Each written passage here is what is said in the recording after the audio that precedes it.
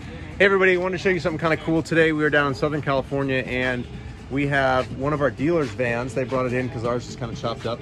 What we're doing today is we are actually laser scanning the front of this. We're going to develop some more products for the front of the van and we want stuff to be uh, laser perfect, if you will.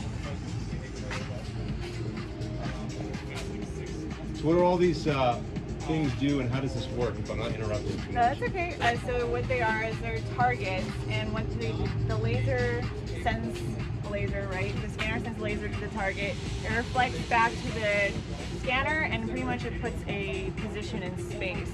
So as long as those targets don't move, it always knows where it's at. I can turn it on here, and then stop and turn it on, and it'll always know where it goes, and it just begins to create a map sort of into the computer.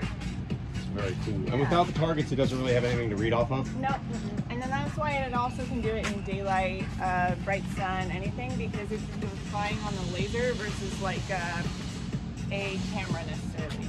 Very cool. You want to show 'em? Uh, you can zoom in. Uh, hopefully, you can pick it up. I'm Oh yeah. sure. So, wow, it's already there. uh, turn it on real quick so it, it like it'll. Oh wow. Yeah, That is so cool. You can see your license plate.